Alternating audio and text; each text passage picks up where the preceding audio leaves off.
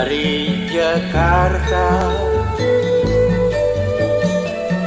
Pinggang ramping dan jelita. Kain songket baju sutra. Sedap dipandang mata Vivi Yong adalah seorang penghibur yang paling konsisten di dunia hiburan. Ia lahir di Sungai Liput, Aceh pada 1912 dari ibu keturunan Tionghoa dan ayah orang Perancis. Vivi memiliki nama asli Tan Kim Neo. Nama Vivi Yong diberikan oleh suaminya, Nyo Cheong Seng. Vivi diambil dari nama bintang film Perancis yakni Vivi de Orsay sedangkan Yong merupakan nama keluarga Nyo. Sejak ayahnya meninggal, ia dibawa ke Batavia dan diasuh nenek dan ibunya. Pendidikannya hanya sampai kelas 4 Hollands Chinese School, setingkat SD sekarang. Sejak kecil, Vivi menyukai komedi Istanbul. Ia sering menonton pementasan di Sirene Park, Mangga Besar, Batavia. Ketika usianya masih 14 tahun, Vivi menikah dengan Nyo Cheong Seng yang merupakan mantan wartawan.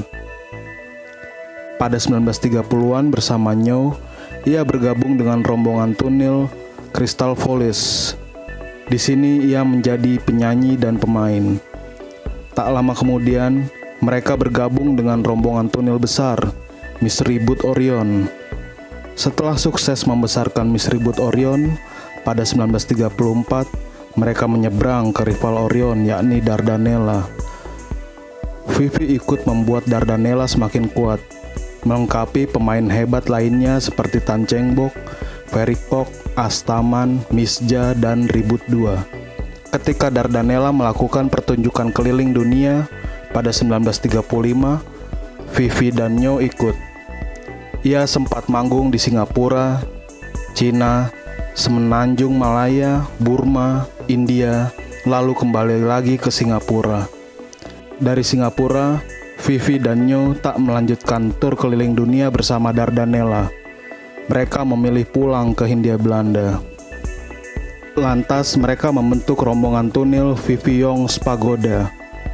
Pasca sukses film Terang Bulan pada 1937, banyak artis panggung yang masuk ke dunia film Vivi dan Nyo pun menyeberang ke film.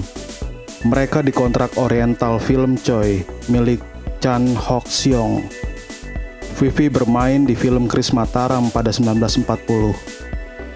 Inilah film pertama dia. Kemudian dia bermain di film Zubaida dan Pancawarna. Pada 1941, Vivi dikontrak Majestic Film Choi. Ia membintangi film Air Mata Ibu. Di film ini, Kusbini dipercaya memegang penata musik. Ia juga bermain di film ini. Film ini kemudian dibuat ulang pada 1957.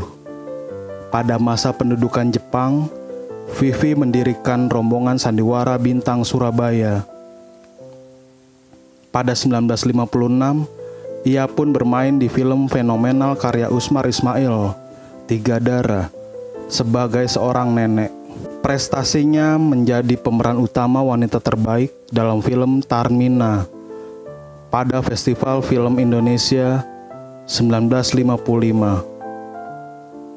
Pada 1973, ia mendapat penghargaan runner-up kedua aktris terbaik PWI dalam film Wajah Seorang Pembunuh. Dan pada tahun 1974, ia mendapat runner-up pertama aktris terbaik PWI dalam film Jembatan Merah. Pada 1970-an, Vivi sempat muncul dalam sandiwara televisi Senyum Jakarta di TVRI bersama sahabatnya Tan Cheng Bok. Pada 1970-an juga, bersama Tan Cheng Bok, ia merekam kaset lawak. Berikut ini lawak Vivi bersama Tan Cheng Bok. Kesel bener, percuma punya laki. Ih. Kerjaan di rumah tidur, bangun, duduk, nongkrong. Mandi nyanyi, tidur nyanyi.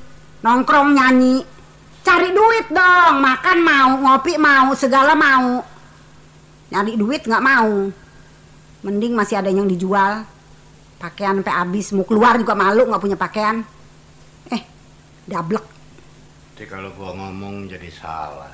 Apa yang salah? Tuh kulit udah tebel kayak kulit badak. Gua tebal tipis kayak lu peduli apa kan jelek-jelek kan laki lu. Nah lu, apa gua? Gua sih kalau gua ngomong dan nanti lu jadi nggak enak lagi lu. apa yang pakai nggak enak? Ngomong. Nah lu. Apa gua? Melek mata melek mulut lu. habis bagaimana nggak melek mata melek mulut? Apa yang mau dimasak coba? Mau nyalain kompor minyak tanah nggak ada apa nggak ada gua aja lu suruh ngutang ke warung Vivi mengisi kaset lawak itu hanya sampai volume 4 dari 9 kaset lawak Tancengbok yang dirilis. Vivi wafat di Jakarta pada 5 Maret 1975 karena penyakit liver. Jenazahnya dikremasi di Muara Karang, Jakarta Utara.